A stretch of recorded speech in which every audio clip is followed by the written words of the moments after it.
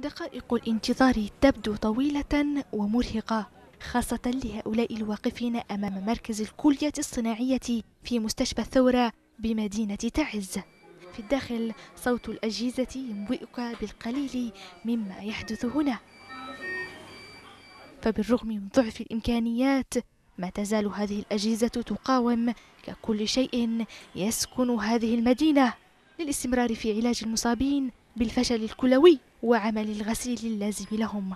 في المركز لا يتغير شيء إلا أعداد المرضى التي تزداد كل يوم وهو ما دفع إدارة المركز لطلب شحنات أدوية وأجهزة إضافية للتعامل مع الحالات الجديدة والكثيرة من المرضى. إلا أن محاولة إدخال 11 شاحنة قادمة من ميناء الحديدة باءت بالفشل حين احتجزتها ميليشيا الحوثي والمخلوع.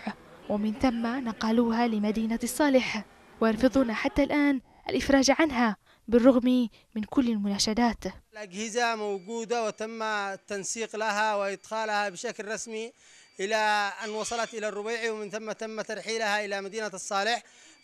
فنرجو من جميع الجهات والناشطين وجماعة الحوثي وجميع الجهات الرسمية التساعد معنا في إيصال الأجهزة وإطلاق سراح كل دقيقة تمر تعني الحياة لهؤلاء فتوقف عمليات الغسيل الكلوي يعني الموت لهم. ففي تعز لا تقسو الحياة على مرضى الفشل الكلوي فقط بل يتشارك الجميع في المعاناة.